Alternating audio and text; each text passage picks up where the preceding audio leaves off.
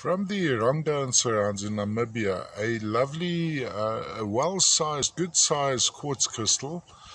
Um, inclusion in this one, I need to look under magnification um, at this inclusion.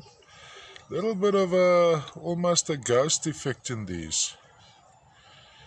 Um, Fine dusting on some of the faces could be some opala in a higher light. If I do mention it in my description, this would be uh, sections would be fluorescent.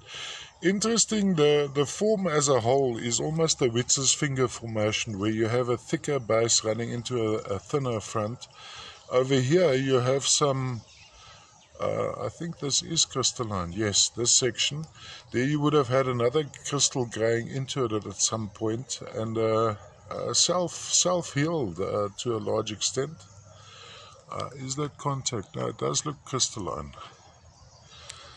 And of course, the Erongo uh, uh, region or the Erongo mountain, we're talking about Usakos, Karibib, and surrounds in Namibia. Lovely, lustrous piece, very, very mild, smoky, all absolutely natural. So these haven't been irradiated to get this color. This is how they occur in nature.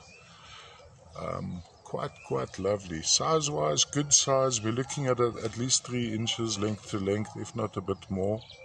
Uh, usually I put the dimensions on my first picture so you can have a look at that there